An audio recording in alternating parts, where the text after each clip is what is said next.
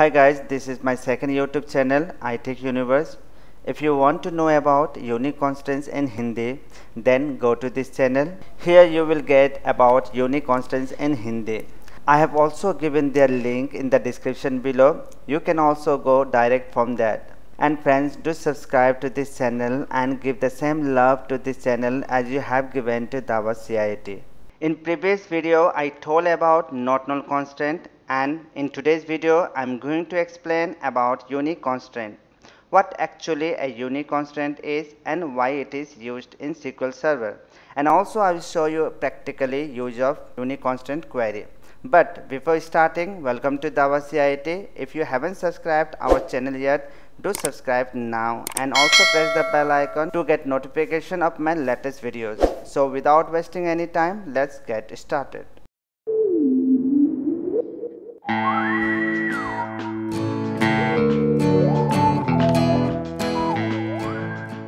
Unique constraint. Unique constraint is known by the name that it stores unique value. I mean unique constant is nothing. It is just store a unique value. For an example, your mobile number and email ID. You know, your mobile number and email ID do not match any other one. Why? Because it is unique the value must be a unique if use a unique constant. You know you cannot enter duplicate value okay whatever value you will insert in the table should be different not repeated. In unique constraint we have to keep three things in mind which is very important.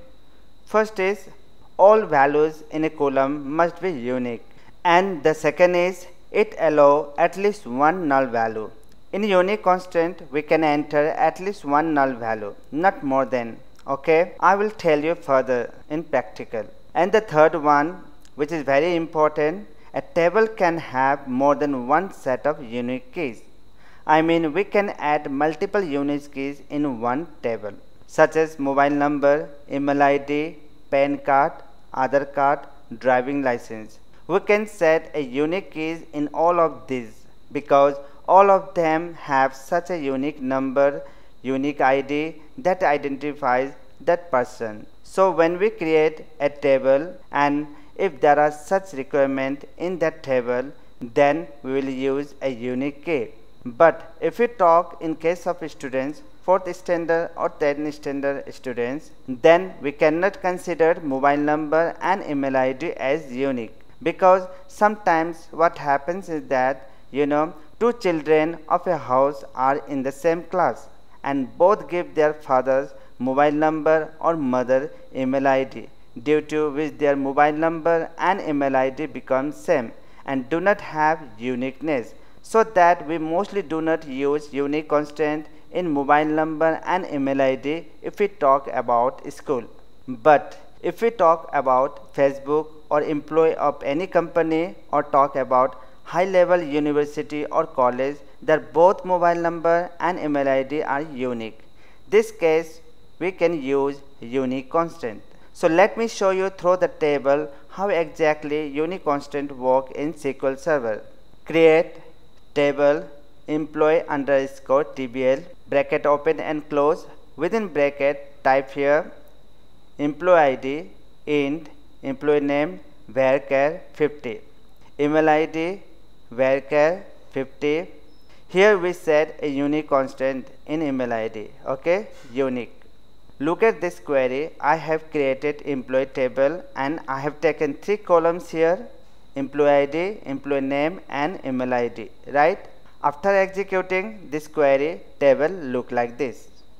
Right now there is no value inserted in the table. It's totally blank right and I have used email ID as unique constant here.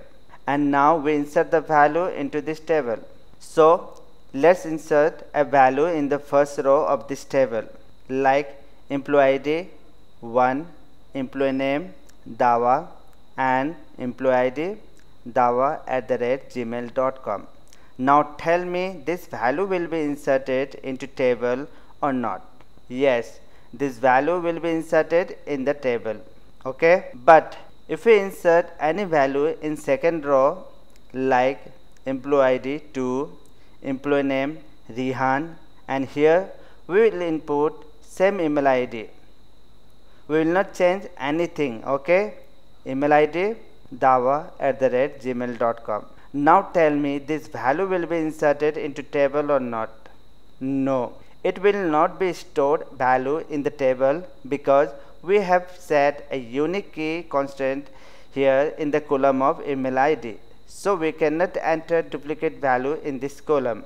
But if you want you can enter the same value. You can enter duplicate value in the column of employee id and employee name but not in the column of email id like if we insert any value here in the third row employee id 1 employee name dawa here you see we have inserted the same value in the column of employee id and employee name as the value we have given here right and email id just we change here dr at the rate gmail.com. Even entering the duplicate value, it will be inserted in the table. Because we inserted here value according to the rules of unique constant. I mean, we have not used unique constant in column of employee ID and employee name. So we can input duplicate value here, you know, employee ID and employee name.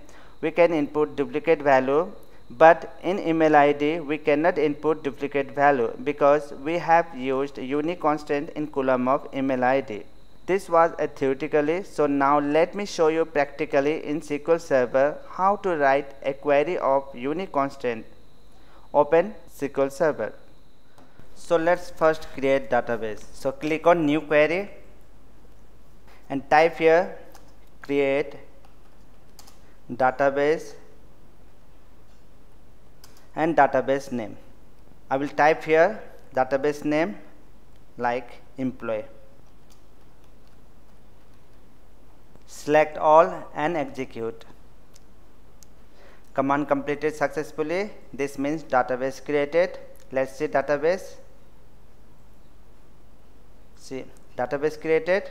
Now type here use database name employee. select all and execute. Now here we'll create a table. Type here create table and table name. Employee underscore TBL. Bracket open and close.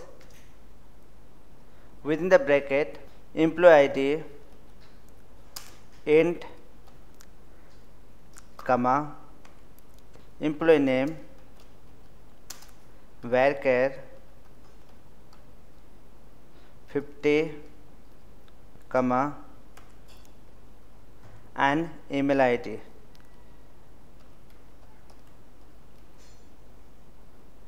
email id varchar 50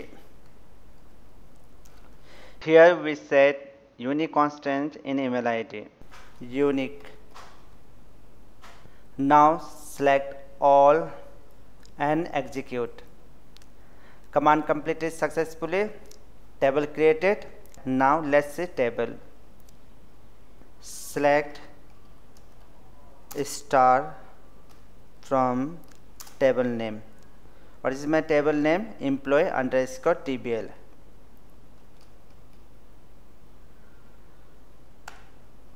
select all and execute.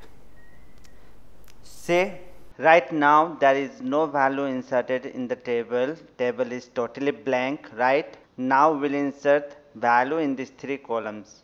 Insert into table name employee underscore tbl values bracket open and close and type here employee id 1 comma single quotation mark employee name dawa single quotation mark and type here email id dawa at the rate gmail.com select all and execute. One row affected select all and execute.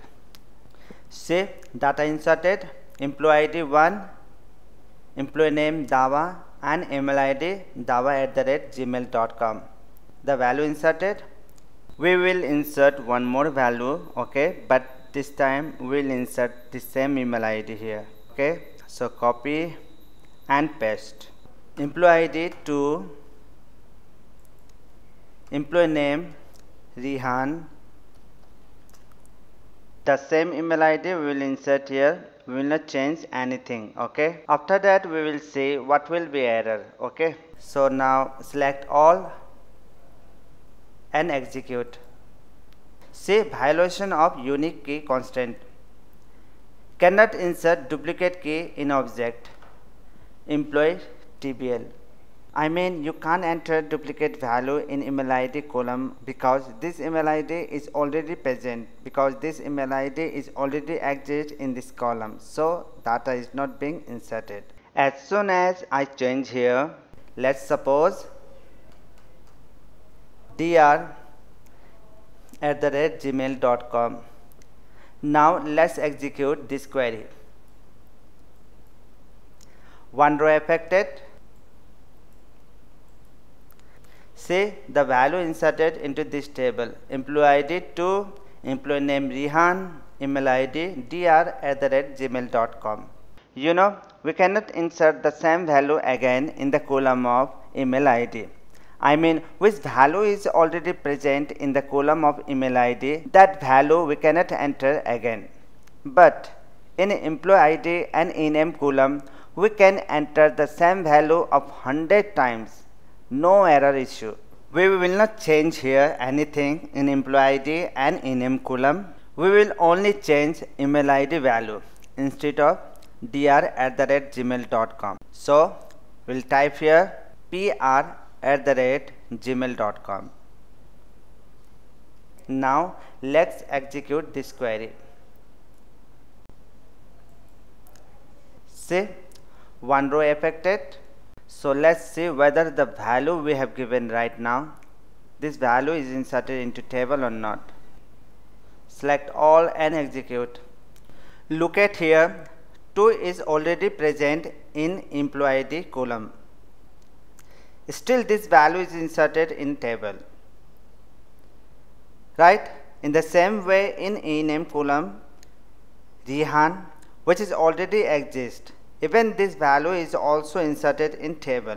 But why not in email ID? I mean when we insert the same value here in email ID column then value is not inserted. Why? Because we have used unique constraint in email ID column.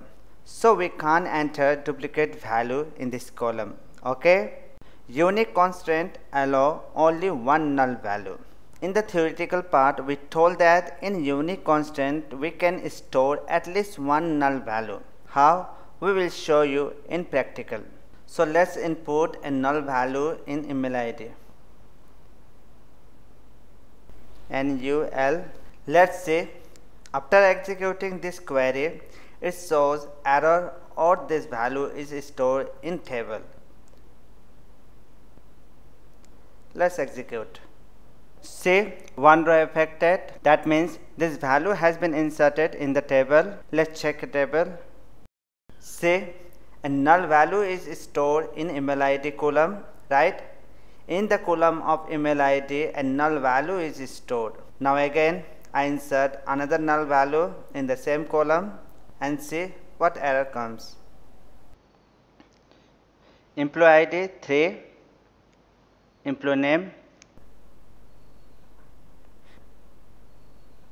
Ayush and email ID leave it this column okay? Because I want to store a null value again okay? Now let's execute this query. Then let's see what will be error. See violation of unique key constraint cannot insert duplicate key in employee table. That means we cannot store more than one null value I mean when we use unique constraint then we can store at least one null value, not more than one. This was a unique constraint. In the next video we'll discuss about primary key constraint. Hope you liked. Thank you so much for watching.